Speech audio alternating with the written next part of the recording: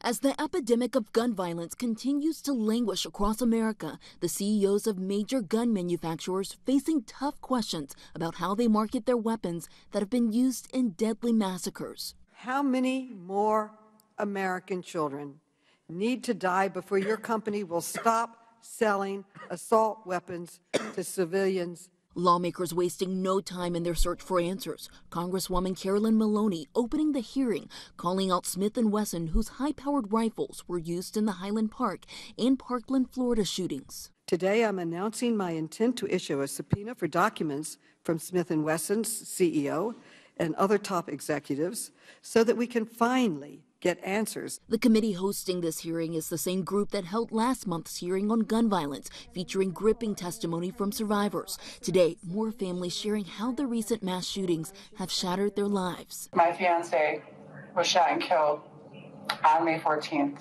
by a white supremacist mass shooter when he went into Tops to buy our son a birthday cake. What are you going to do?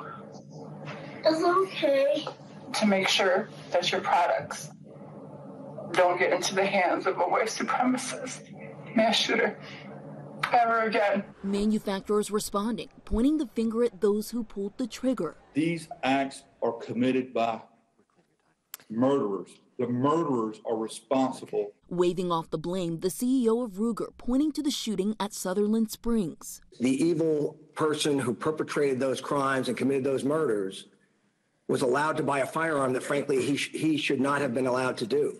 And committee Democrats also shared their report that found that major assault weapon makers have made over $1 billion in revenue over the past 10 years as these mass shootings have surged.